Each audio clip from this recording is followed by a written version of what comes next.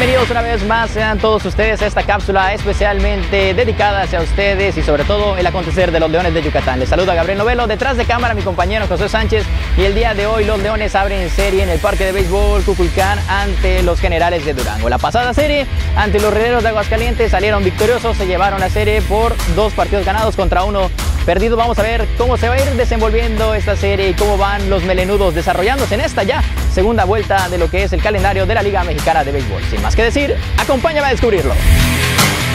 Los Leones de Yucatán iniciaron el primer fin de semana de julio recibiendo serie. El rival en turno en esta ocasión fueron los Generales de Durango. La lluvia no fue impedimento para que el primer partido de la serie se disputara en el Cuculcán, gracias al excelente trabajo del equipo de mantenimiento de las Fieras.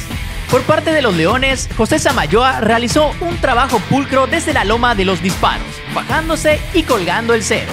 A la ofensiva, los Leones de Yucatán demostraron estar encendidos con el madero, ya que su primer ataque se dio en la segunda entrada en donde realizaron un rally de tres carreras, sobre las cuales cimentaron su victoria. Actualmente, los Leones marchan en la cima de la zona sur de la Liga Mexicana de Béisbol, por lo que es fundamental el apoyo de su afición para que se mantengan en la senda del triunfo y con miras al campeonato.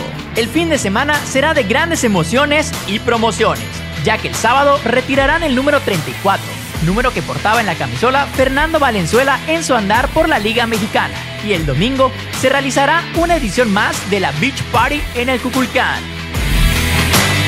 Amigos de Leones, el blog, como ustedes pudieron observar en las imágenes, los Leones de Yucatán están desatados, están con todo en el madero, tienen buen picheo y sobre todo siguen peleando en los primeros puestos del liderato de la zona sur de la Liga Mexicana de Béisbol. En esta ocasión derrotaron a los generales de Durango en este primer encuentro en el Parque de Béisbol Cuculcán Álamo. Yo les digo que estén pendientes de las redes sociales de los Leones, donde estarán anunciando diversas promociones el fin de semana para que acudan a este precioso estadio que está a mis espaldas. Yo me encuentro en el Parque El Rey de los Deportes, situado justamente enfrente.